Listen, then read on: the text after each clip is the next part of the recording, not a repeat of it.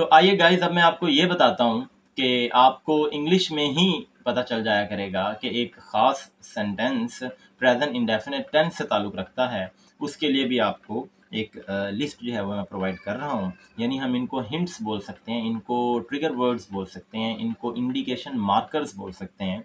ये वो वर्ड्स हैं कि अगर आप इनको किसी सेंटेंस में देखें और आपसे ये कहा जा रहा हो कि यहाँ पे हेल्पिंग वर्ब या मेन वर्ब पुट करें, जिस तरह के हमारी फ़र्स्ट ईयर की जो इंग्लिश ग्रामर है, या फ़र्स्ट ईयर का जो इंग्लिश सब्जेक्ट का भावलपुर बोर्ड का, या किसी भी बोर्ड का पेपर होता है, उसमें भी पाँच मार्क्स का ये क्वेश्चन दिया जाता है कि वहाँ पे हेल्पिंग वर्ब या मेन वर्ब को फिल इन द ब्लैंक बना के पूछा जाता है।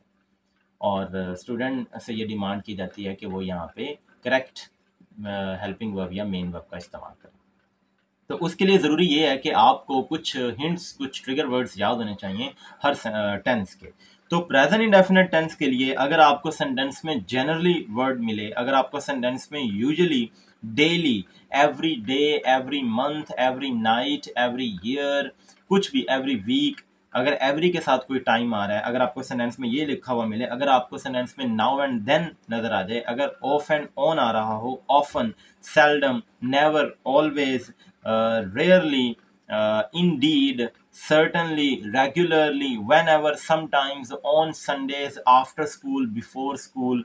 यानी इस तरह के अगर आपको वर्ड्स एक सेंटेंस में नज़र आ रहे हैं सो यकीनन यकीनन वो फिक्रा वो सेंटेंस प्रेजेंट इंडेफिनेट टेंस से बिलोंग करता है। कुछ एग्जांपल्स मैं आपके सामने शेयर कर देता हूँ। Certainly he does not play cricket और generally he does not play cricket अब यहाँ पे देखें, अगर इसको यूँ लिख दिया जाए generally he does not dash cricket तो भी मुझे पता चल जाएगा कि डज नॉट के बाद मैंने फ़र्स्ट फॉर्म पुट करनी है और मैं प्ले पुट कर दूँगा।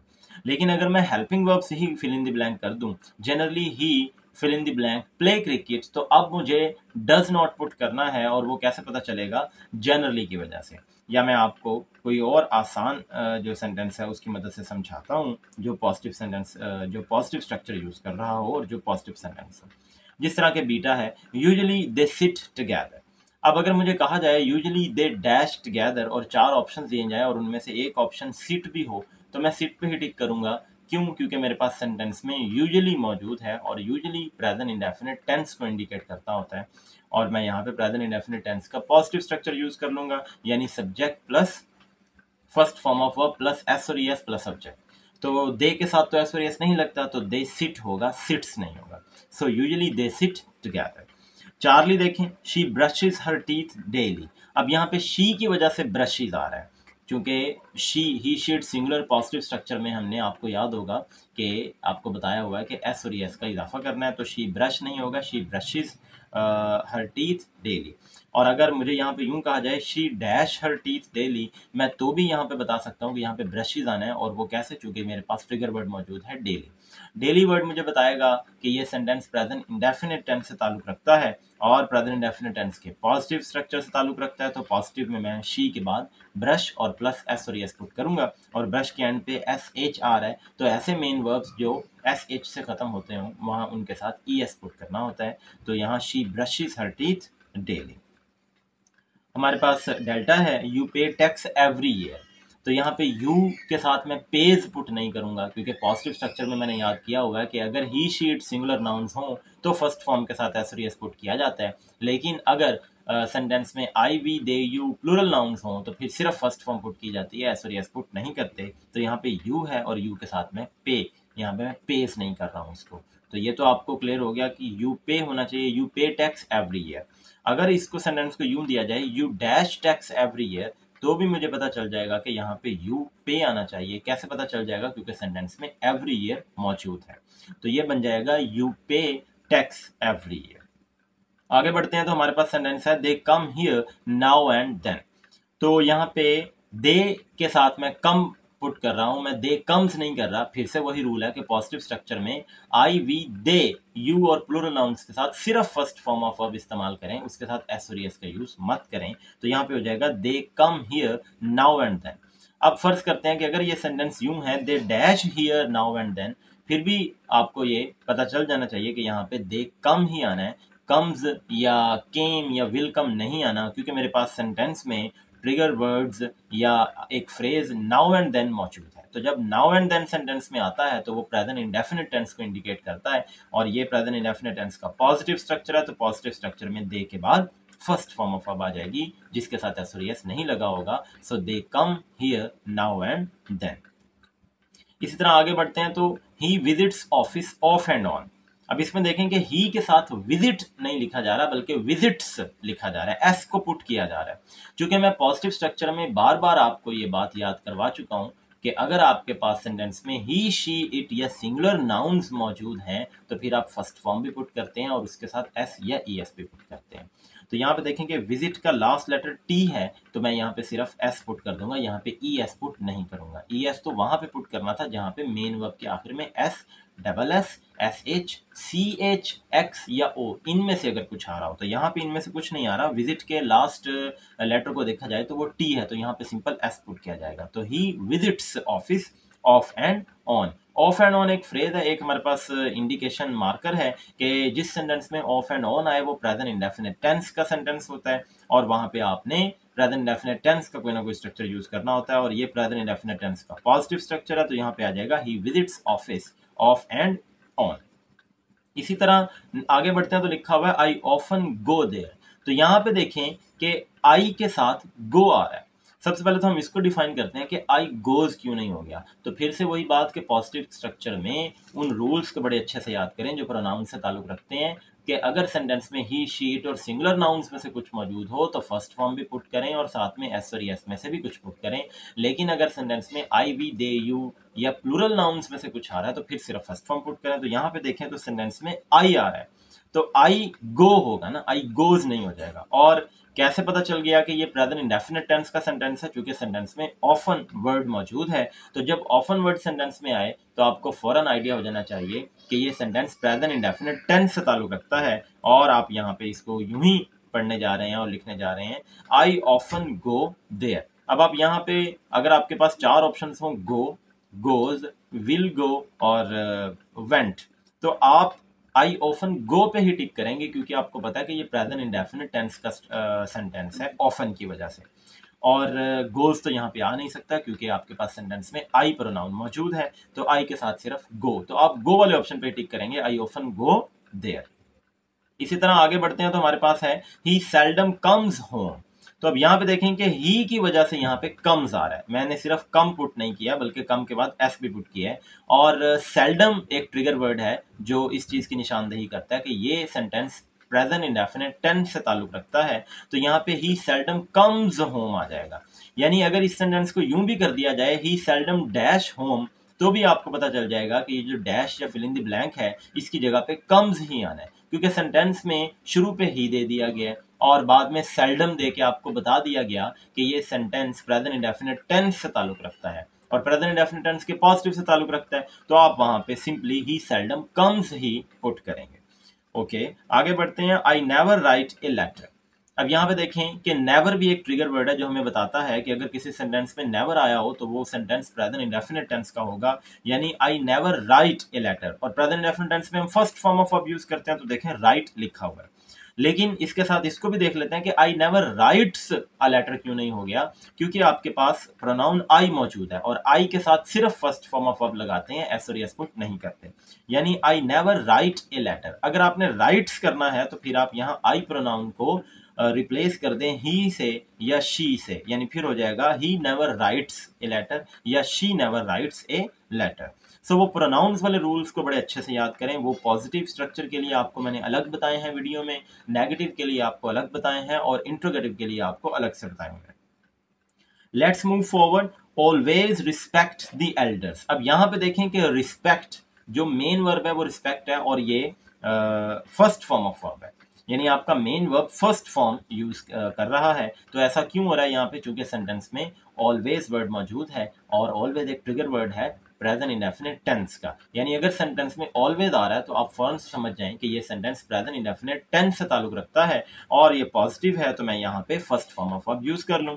तो ऑलवेज रिस्पेक्ट द एल्डर्स इसी तरह देखें कि रेयरली शी गोज टू बाज़ार तो यहाँ पे देखें कि सबसे पहले शी के साथ गोज क्यों आ रहा है। तो वही रूल जो मैं आपको ऊपर बता चुका हूँ वीडियो में, पहले भी बता चुका हूँ कि अगर आपका main verb S double S S H C H X या ओ अगर आपके मेन वर्ब के आखिरी लेटर्स इनमें से कोई एक हैं तो फिर आप वहाँ पे ई एस पुट करेंगे अदरवाइज़ आप एस पुट किया करें। तो मैं अगर गो वर्ड को देखूँ तो इसका लास्ट जो लेटर है वो ओ है। और ओ हमारी उस लिस्ट में आता है जहाँ पे हम ई एस को पुट करते हैं। तो जी ओ गो के बाद ई एस पुट किया जाएगा, यानी सेंटेंस हो जाएगा रेयरली शी गोज टू बाज़ार और ये प्रेजेंट इंडेफिनिट टेंस का ही सेंटेंस क्यों बनता है? क्योंकि इस सेंटेंस में रेयरली वर्ड मौजूद है। तो जहाँ पे सेंटेंस में रेयरली मौजूद हो, वो सेंटेंस प्रेजेंट इंडेफिनिट टेंस का होगा और ये पॉजिटिव है तो पॉजिटिव में मैं ही he she it singular nouns के बाद फ़र्स्ट फॉर्म यूज़ करके एस और ई एस पुट करता हूँ। तो यहाँ शी के बाद मैंने गो फ़र्स्ट फॉर्म यूज़ की और उसके साथ एस और ई एस में से ई एस पुट किया। So rarely she goes to बाज़ार। अब एक नेगेटिव स्ट्रक्चर की एग्जांपल आई हुई है तो अब आपका जहन फ़ौरन से नेगेटिव स्ट्रक्चर्स की तरफ़ चले जाना चाहिए। We do not waste our time really तो अब यहाँ पे देखें कि डू नॉट आ रहा है।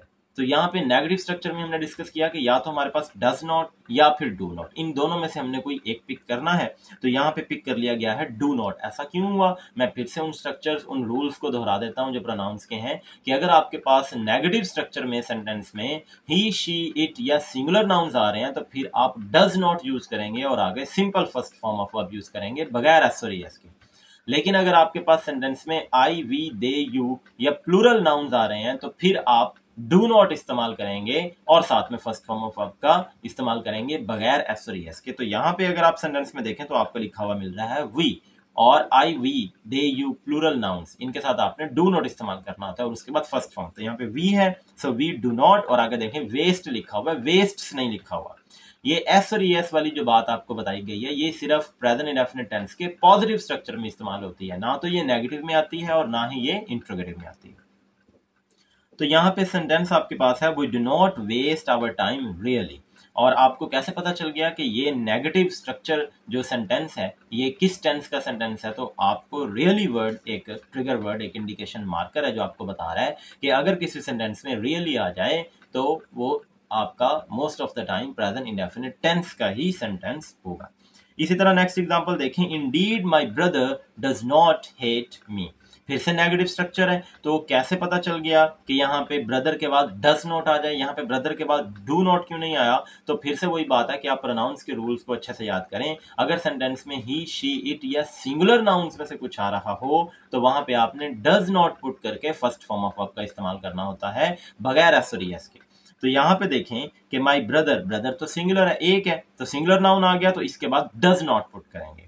यानी अगर आप यहाँ पे डू नॉट पुट करना चाहते हैं तो ब्रदर को ज़्यादा कर दें प्लूरल कर दें, यानी ब्रदर्स बना दें तो फिर हो जाएगा कि my brothers do not hope so that you have got this my brother does not hate me और यहाँ पे कैसे पता चल गया कि ये प्रेजेंट इंडेफिनेट टेंस का सेंटेंस है, चूँकि सेंटेंस में इंडीड वर्ड मौजूद है। जब सेंटेंस में इंडीड वर्ड आया हो तो आपको फ़ौरन से पता चल जाना चाहिए कि ये प्रेजेंट इंडेफिनेट टेंस का सेंटेंस होगा। और अगर नॉट आ रहा है तो वो नेगेटिव है तो बस उसमें से आप डू या डू नॉट या डस नॉट इनमें से कुछ एक एक हेल्पिंग वर्ब को पिक करेंगे। तो यहाँ पे चूँकि ब्रदर सिंगुलर नाउन है तो डस नॉट को पिक कर लिया लेट्स मूव फॉरवर्ड तो आगे हमारे पास सेंटेंस आ रहा है certainly I do not tell a lie तो अब यहाँ पे देखें कि आई की वजह से डू नॉट आ रहा है, क्योंकि वो रूल फिर से आपको मैं बताता जाता हूँ कि अगर I we they you plural और प्लूरल नाउन्स अगर I we they you plural nouns में से आपके पास सेंटेंस में कोई वर्ड मौजूद है तो आप वहाँ पे do not plus first form of verb इस्तेमाल करते हैं। तो यहाँ पे देखें कि आई की वजह से डू नॉट आया है और आगे simple first form of verb tell इस्तेमाल की गई है। टेल्स नहीं लिखा हुआ। So I do not tell a lie और कैसे पता चल गया कि ये प्रेजेंट इंडेफिनिट टेंस का सेंटेंस है? क्योंकि सेंटेंस में अगर आप शुरू में देखें तो सर्टनली वर्ड लिखा हुआ है। सर्टनली इंडिकेट करता है कि इस सेंटेंस में आपने प्रेजेंट इंडेफिनिट टेंस को इस्तेमाल करना है। और अगर प्रेजेंट इंडेफिनिट टेंस को इस्तेमाल करूँ मैं तो इसमें नेगेटिव स्ट्रक्चर है तो मैं डू नॉट या डज नॉट में से कोई एक पिक करूँगा और वो मैंने डू नॉट पिक किया हुआ है। किसकी वजह से? आई की वजह से। So sentence is certainly I do not tell a lie let's proceed he goes to school regularly अब यहाँ पे देखें कि ही की वजह से यहाँ पे पॉजिटिव स्ट्रक्चर है तो फिर से वही बात कि एस और एस वाली बात आपको याद होनी चाहिए, वो रूल और ही गोज आ गया। अब ये मैं आपको बार बार बता चुका हूँ कि अगर सेंटेंस में ही शी इट या सिंगुलर नाउन आ रहा है तो आपने फ़र्स्ट फॉर्म भी पुट करनी है, साथ में एस और ई एस में से भी किसी एक को पुट करना है। तो यहाँ पे देखें कि गो के बाद ई एस पुट किया हुआ है। क्यों? क्योंकि गो मेन वर्ब है और इसका last letter last alphabet O है। और वो लिस्ट आपको याद होनी चाहिए, जहाँ पे आपने ई एस पुट करना है। उस लिस्ट के लिए ज़रूरी ये है कि आपका main verb S double S S H C H O या एक्स से खत्म होता हो। तो यहाँ पे देखें कि आपका मेन वर्ब गो है और इसका लास्ट लेटर ओ है। तो इसलिए यहाँ पे ई एस आ रहा है और ही गोज हो जाएगा। He goes to school regularly अब ये ऐसा ही क्यों हुआ कि ये प्रेजेंट इंडेफिनेट टेंस के पॉजिटिव स्ट्रक्चर को इस्तेमाल करते हुए सेंटेंस बनाया गया? क्योंकि इस सेंटेंस में रेगुलरली मौजूद है। रेगुलरली वर्ड इंडिकेट करता है कि ये सेंटेंस प्रेजेंट इंडेफिनेट टेंस से ताल्लुक रखता है। आगे बढ़ते हैं। Whenever he visits Rahim Yar Khan he meets मी तो यहाँ पे देखें कि वेन एवर के बाद ही और ही के बाद विजिट्स विजिट्स एस के साथ जो है वो पुट किया गया है। फिर से वही बात कि अगर सेंटेंस में he she it singular noun में से कुछ आ रहा है तो आप फ़र्स्ट फॉर्म पुट करें, जिस तरह के विज़िट पुट किया गया, और साथ में एस और एस भी पुट करें तो यहाँ पे एस पुट किया गया। So whenever he visits Rahim Yar Khan he meets me और इसमें इंडिकेशन थी वेन एवर जब सेंटेंस में वेन एवर वर्ड आए तो आप फ़ौरन से समझ जाएँ कि मैंने यहाँ पे प्रेजेंट इंडेफिनेट टेंस का इस्तेमाल करना है। इसी तरह अगला सेंटेंस है sometimes I go to park तो इसमें देखें समटाइम्स ट्रिगर वर्ड है जो मुझे बता रहा है कि मैं यहाँ पे प्रेजेंट इंडेफिनेट टेंस का स्ट्रक्चर इस्तेमाल करूँ और मैं सेंटेंस को देखता हूँ तो ये पॉजिटिव है। सो आई आई के साथ सिर्फ़ फ़र्स्ट फॉर्म ऑफ़ वर्ब का इस्तेमाल किया जाता है, कोई एस और एस नहीं आता। So sometimes I go to park तो ये बिल्कुल आसान था। I do jogging on Sundays तो ये ऑन संडेज इंडिकेशन है प्रेजेंट इंडेफिनेट टेंस की, और ये प्रेजेंट इंडेफिनेट टेंस का पॉजिटिव सेंटेंस है तो मैंने यहाँ पे मेन वर्ब जो डू इस्तेमाल कर रहा हूँ, वो मैंने आई की वजह से डू लिखा है। मैं अगर यहाँ पे डज लिखना चाहता हूँ तो फिर मैं आई की जगह पे ही कर दूँगा। लेकिन अभी सेंटेंस है I do jogging on Sundays इसी तरह आगे बढ़ता हूँ तो लिखा हुआ है after the school I go to the academy तो यहाँ पे देखें कि आफ्टर द स्कूल ये मेरे ट्रिगर वर्ड्स हैं और ये मुझे बता रहे हैं कि प्रेजेंट इंडेफिनेट टेंस का इस्तेमाल किया जाना चाहिए। तो मैंने आई के बाद गो पुट कर दिया। आई गोज नहीं कर रहा हूँ मैं, क्योंकि वो मैं प्रोनाउंस के रूल को फॉलो कर रहा हूँ। वो मैं बार बार बता चुका हूँ and hopes that you have got them उनको वीडियो में आप वापस जाके देखें, आपको इनशाला वो क्लियर हो जाएँगे। और लास्ट सेंटेंस है हमारे पास before the school I take breakfast तो यहाँ पे देखें कि बिफोर स्कूल ये जो फ्रेज है, ये जो ट्रिगर वर्ड्स हैं, ये जो मार्कर्स हैं, ये मुझे इंडिकेट कर रहे हैं कि मैं यहाँ पे प्रेजेंट इनडेफिनेट टेंस को यूज़ करूँ। तो मैंने यूज़ किया I take breakfast so before the school I take breakfast यहाँ पे आई के साथ टेक पुट किया जा रहा है। टेक्स नहीं पुट किया जा रहा, क्योंकि वो रूल आपको प्रोनाउंस के याद होने चाहिए, जो रूल्स मैंने आपको बताए हैं। वो रूल्स बहुत इंपॉर्टेंट हैं। पॉजिटिव के लिए मैंने आपको अलग से बताए नेगेटिव के लिए अलग से बताए और इंट्रोगेटिव के लिए आपको अलग से बताए हैं। उनको आप वीडियो में वापस जाकर देखें। इनशाला आपको ये टेंस बड़े अच्छे से क्लियर हो जाएगा। इसमें आपको कोई प्रॉब्लम नहीं रहेगी। जी तो गाइज़ ये जो मैं आपको प्रेजेंट इंडेफिनेट टेंस के पॉजिटिव नेगेटिव और इंट्रोगेटिव स्ट्रक्चर्स के बारे में बता चुका हूँ, मैं साथ में आपको ये भी बताता चलूँ कि ये हम एक्टिव वॉइसेस डिस्कस कर रहे थे, यानी प्रेजेंट इंडेफिनेट के एक्टिव वॉइसेस डिस्कस कर रहे थे। ये जो पॉजिटिव स्ट्रक्चर है नेगेटिव है इंट्रोगेटिव है, ये तीनों एक्टिव वॉइसेस में कंसिडर किए जाते हैं एक्टिव वॉइसेस में शुमार किए जाते हैं। एक टेंस के पैसिव वॉइसेस भी होते हैं वो भी हम डिस्कस करते जाएँगे किन किन टेंस के टेंसेस के पैसिव वॉइसेस होते हैं और किन के नहीं होते। जिनके नहीं होंगे वो भी मैं आपको साथ साथ बताता चलूँगा इनशाला आपको हर एक टेंस में मेरी एक मुकम्मल और कॉम्प्रीहेंसिव वीडियो आपको मिला करेगी। तो आज प्रेजेंट इंडेफिनेट टेंस को डिस्कस कर रहे हैं तो आइए अब इसका हम पैसिव स्ट्रक्चर डिस्कस कर लेते हैं। अब पैसिव स्ट्रक्चर में मैं आपको ये बताता चलूँ कि आप आ, के पास दो ऑप्शंस या दो आपके पास जो है वो वेज हो सकते हैं। पहला तरीकाकार ये है कि प्रेजेंट इंडेफिनेट टेंस का जो पैसिव होता है, वो विद एक्शन होता है। यानी उसमें कोई ना कोई एक्शन हो रहा होता है, कोई ना कोई वर्ब जो है, वो आ रहा होता है। और एक आपके पास होता है विदाउट एक्शन यानी पैसिव वॉइसेस की दो टाइप्स हैं। या तो वो विद एक्शन होते हैं, या वो विदाउट एक्शन होते हैं। तो अब हम देखते हैं। सबसे पहले तो आप स्ट्रक्चर को समझ लें। तो प्रेजेंट इंडेफिनेट टेंस के पैसिव वॉइस स्ट्रक्चर को जहन नशीन करें। सबसे पहले सब्जेक्ट आएगा। उसके बाद हेल्पिंग वर्ब्स आपके पास तीन है, उन तीनों में से कोई एक आपने पिक करना होगा, या तो ईज को पिक करेंगे, या एम को, या आर को, और उसके पास, उसके बाद थर्ड फॉर्म ऑफ़ वर्ब का इस्तेमाल करेंगे। जितने भी पैसिव वॉइसेस हमारे पास बनेंगे, जितने भी टेंसेस के ठीक है? कुछ के बनते हैं, कुछ के नहीं बनते। लेकिन जिन तमाम टेंसेस के बनते हैं, उन तमाम टेंसेस के पैसिव वॉइसेस में सिर्फ़ और सिर्फ़ थर्ड फॉर्म ऑफ़ वर्ब का ही इस्तेमाल होगा। यानी हम जब भी किसी भी टेंस का पैसिव वॉइस बनाएँगे, वहाँ पे आपने सिंपली बगैर सोचे समझे आपने थर्ड फॉर्म ऑफ़ वर्ब का इस्तेमाल करना है। क्योंकि ये मैं आपको बता रहा हूँ कि तमाम पैसिव वॉइसेस जिस मर्ज़ी टेंस का पैसिव वॉइस हो, उसमें आपने थर्ड फॉर्म ऑफ़ वर्ब का यूज़ करना होता है। और उसके बाद बाय इस्तेमाल करते हैं हम पैसिव वॉइस में ज़्यादातर और ऑब्जेक्ट लगाते हैं। लेकिन अगर आप बाय और ऑब्जेक्ट इस्तेमाल ना करें, तब भी आपका सेंटेंस पैसिव वॉइस बन सकता है। यानी सिर्फ़ इतने से स्ट्रक्चर के साथ भी आपका सेंटेंस पैसिव बन सकता है। सब्जेक्ट सब्जेक्ट के बाद इज़ और प्लस थर्ड फॉर्म ऑफ़ तो आपके लिए टिप्स लिखी गई हैं कि use third form of verb जब आप पैसिव वॉइस बना रहे हैं और use helping verbs is am are with noun और एडजेक्टिव तो जब आपके पास सेंटेंस में नाउन और एडजेक्टिव आ रहे हो तो उनके साथ आप इज़ एम आर इस्तेमाल कर लें। किसके पैसिव वॉइस में? प्रेजेंट इंडेफिनिट टेंस के पैसिव वॉइस में। तो अब हमारे पास विदाउट एक्शन एक पैसिव वॉइस है। यानी मैं आपको दो टाइप्स बता चुका हूँ कि या तो विद एक्शन होगा या विदाउट एक्शन होगा।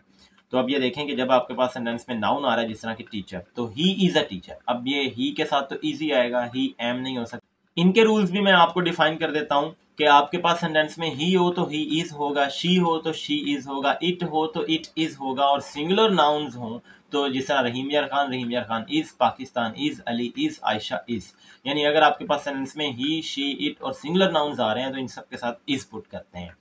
आई प्रोनाउन के साथ एम यूज़ किया जाता है और वी दे यू या प्लूरल नाउन्स जिस तरह Ayesha and Sana, Ali and Ahmed Rahim Yar Khan and Lahore, Pakistan and India तो इनके साथ आपने आर का इस्तेमाल करना होता है। तो यहाँ पे ही है सेंटेंस में, पहले एग्जांपल में तो ही इज़ ए टीचर है। ही के साथ इज़ आ रहा है और ही इज़ ए टीचर इसमें देखें, कोई एक्शन परफॉर्म नहीं किया जा रहा। और ये पैसिव वॉइस है और ये पैसिव वॉइस है और ये विदाउट एक्शन पैसिव वॉइस है। टीचर इसमें नाउन है। जिस तरह के ऊपर स्ट्रक्चर लिखा भी हुआ है कि subject plus is am are plus third form of verb अब आपके जहन में ये क्वेश्चन आ रहा होगा कि यहाँ पे थर्ड फॉर्म ऑफ़ वर्ब तो यूज़ ही नहीं की गई। तो मैं आपको ये पहले ही बता चुका हूँ कि जो पैसिव वॉइस विद एक्शन होगा, जिसमें एक्शन आ रहा होगा, वहाँ पे तो हम third form of verb use करेंगे। लेकिन जो विदाउट एक्शन पैसिव वॉइस होगा, उसमें हम या तो नाउन यूज़ करेंगे या एजेक्टिव यूज़ करेंगे। नाउन कोई नाम होता है और एजेक्टिव कोई खूबी या खामी, जिसको हम खसूसियत बोलते हैं, कोई क्वालिटी होती है। तो यहाँ पे देखें कि ही इज़ ए टीचर तो टीचर एक नाउन है, एक नाम है। तो ये विदाउट एक्शन पैसिव वॉइस हो गया। आई एम ए फुटबॉलर तो आई आई के साथ एम आ गया। ये तो मैं रूल्स आपको बता चुका हूँ। I am a footballer footballer एक नाउन है, एक नेम है। तो ये भी विदाउट एक्शन पैसिव वॉइस हो गया। You are not a lawyer ये नेगेटिव पैसिव हो गया, जहाँ पे आर के बाद नॉट पुट कर दिया गया है। और यू के साथ आर पुट किया गया है, क्योंकि रूल्स में आपको बता चुका हूँ कि यू के साथ आपने आर ही पुट करना है। You are not a lawyer और लॉयर नाउन है। तो ये भी विदाउट एक्शन पैसिव वॉइस है। तो इसको देखते जाएँ आप। यानी एक्टिव वॉइसेस तो एक ही टाइप के होते हैं कि उनमें एक्शन होता है, और पैसिव वॉइसेस दो टाइप्स के होते हैं कि या तो उनमें एक्शन होगा या नहीं होगा। जब एक्शन आता है तो हम third form of verb put करते हैं, और जब एक्शन नहीं आता तो सेंटेंस में नाउन या एडजेक्टिव। इनमें से कोई एक लाजमी मौजूद अब यहाँ पे देखें तो दे आर गुड बॉयज़ तो यहाँ पे दोनों बातें जो है वो मुकम्मल हो गई हैं कि दे के साथ आर तो आ रहा है, वो ठीक है गुड एडजेक्टिव है और बॉयज़ नाउन है। तो दे आर गुड बॉयज़ और इसमें भी देखें कि विदाउट एक्शन पैसिव वॉइस है, इसमें कोई एक्शन परफॉर्म नहीं किया जा रहा। जब कोई एक्शन नहीं है तो कोई थर्ड फॉर्म ऑफ़ वर्ब भी नहीं है। इट इज़ डन अब यहाँ देखें कि इट के साथ इज़ आ रहा इज़ आ गया। अब यहाँ पे देखें कि इट के साथ इज़ आ गया। और वो रूल मैं आपको बता चुका हूँ इट के साथ इज़ आ गया और आगे थर्ड फॉर्म आई हुई है। डू डिड डन और done third form of verb है तो ये पैसिव बन गया। इट इज़ डन लेकिन अगर स्ट्रक्चर को देखें तो आगे लिखा हुआ है बाय प्लस ऑब्जेक्ट वो आपकी मर्ज़ी है। अगर आप मुकम्मल और करना चाहते हैं सेंटेंस को मुकम्मल करना चाहते हैं कॉम्प्लीमेंट भी देना चाहते हैं तो आप दे सकते हैं कि it is done by me by him by her वो आप कुछ भी यहाँ पे, या it is done by Ali it is done by Ayesha और नेक्स्ट सेंटेंस देखें तो लिखा हुआ है आई एम अवॉर्डेड आई के साथ एम ही इस्तेमाल होना है, ये मैं बता चुका हूँ आपको। और ये विद एक्शन पैसिव वॉइस है, इसमें एक्शन हो रहा है। I am awarded awarded third form of verb का इस्तेमाल किया गया। तो ये सेंटेंस इस तरह बनेगा आई एम अवॉर्डेड लेकिन अगर बाय के साथ आपने इस्तेमाल करना है तो आप कहेंगे I am awarded by the principal by the teacher कुछ भी इस तरह। और नेक्स्ट एग्जांपल है apples are eaten by you अब यहाँ पे मैंने मुकम्मल जो बाय प्लस ऑब्जेक्ट के साथ होते हैं, वो मैंने लिख दी हैं और ये विद एक्शन है। विद एक्शन है तो यहाँ पे थर्ड फॉर्म ऑफ़ वर्ब का इस्तेमाल होगा। तो आप एग्ज़ाम्पल में देख रहे हैं कि apples are eaten by you so apples plural noun है नाउन है। प्लूरल नाउन है प्लूरल नाउन के साथ आर लग गया। सो एप्पल्स आर और third form of verb eaten apples are eaten by you ये पैसिव वॉइस है और विद एक्शन पैसिव वॉइस है। और नेक्स्ट है हमारे पास Ali is beaten by Ahmed तो यहाँ पे देखें कि अली चूँकि सिंगुलर नाउन है तो इसके साथ इज़ आ गया और थर्ड फॉर्म ऑफ़ वर्ब का इस्तेमाल किया गया है बीटन बीट थर्ड फॉर्म इस्तेमाल की गई है बीट की बीटन तो यहाँ पे देखें कि ये विद एक्शन है और ये पैसिव वॉइस है। यानी Ali is beaten by Ahmed और यहाँ पे बाय और प्लस ऑब्जेक्ट वाली कंडीशन को भी फुलफिल कर दिया गया है। तो ये था गाइस हमारा मुकम्मल आज का लेक्चर एक कॉम्प्रिहेंसिव लेक्चर जो आपको प्रेजेंट इंडेफिनेट टेंस के बारे में तमाम डिटेल से आगाह कर देगा। इस वीडियो को अच्छे से देखें, इसको अच्छे से सुने, जहाँ से आपको समझ नहीं आता वीडियो में वापस जाएँ वीडियो को रीप्ले करें और उसको उन कॉन्सेप्ट्स को अच्छे से गो थ्रू करते हुए इस टेंस को समझें। तो आपके लिए ये टेंस बिल्कुल भी मुश्किल नहीं रहेगा। मज़ीद आप मुझे कमेंट बॉक्स में बता सकते हैं। अगर आपको कोई भी परेशानी हो, आपके जहन में कोई भी सवाल आ रहा हो प्रेजेंट इन टेंस के मतलब I will reply you promptly Thank you guys for watching this video. Stay blessed, stay successful, stay connected with me. Until next time.